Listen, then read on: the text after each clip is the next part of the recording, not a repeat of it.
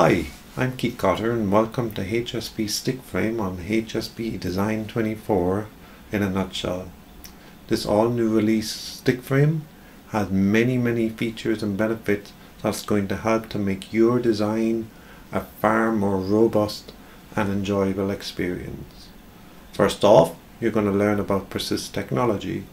Our Persist technology allows you to control your manual changes so that you never again lose them. So you design once and you have it there forevermore. Second off, you're going to then see our connection details and the improved connection details of the butt connection when two elements are standing side by side and that connection between them along with some of the UI changes that we've made in the framing styles editor because this will now make your experience in the framing styles editor even more pleasing again. Moving on into some of the HSB Flex tools, you're going to see our pocket, point load and vent tool added to the many other tools that are already existing in the stick framing and again making that possibility to speed up your design even more faster again. And last, I'm really excited to introduce you to validation. What is validation? It's your means to be able to check your design when you've complete.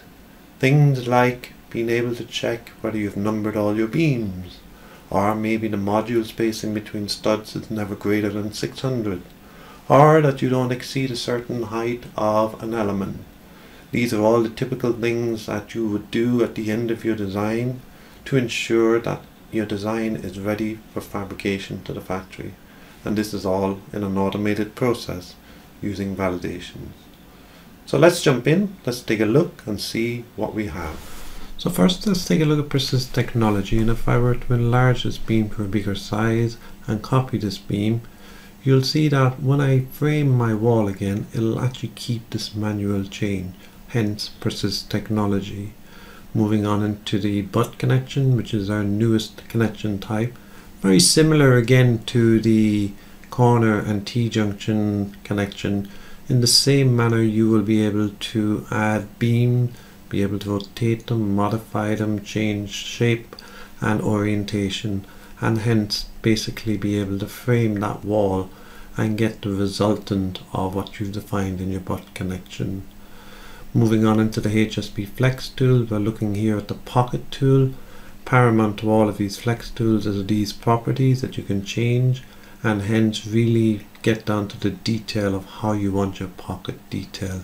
Similarly the point load is the same but here I'm showing you now the vent tool and with the vent tool we can also similarly define all the properties and when we frame that wall it'll automatically frame around this particular vent pipe that you see here at the moment. You can also place vents individually without even having the actual MEP piping showing as well on the wall. And then moving into our validation manager, this is our means to be able to check your model after design. In this case here, I'm just creating a simple group and I'm going to add here some extension plugins which will be very defined rule set in this case I'm going to check the section size and I'm also going to check the length of each beam that they meet a certain criteria and then you just simply run the validation picking the group that you selected earlier and that would hence give you back a complete result of anything that would have failed and then you can just navigate very simply into wherever the issue is on your model. I'm Keith Cotter, thank you for watching and I hope to see you in the upcoming sessions that I have recorded on each of these topics and be sure to jump in and take a look.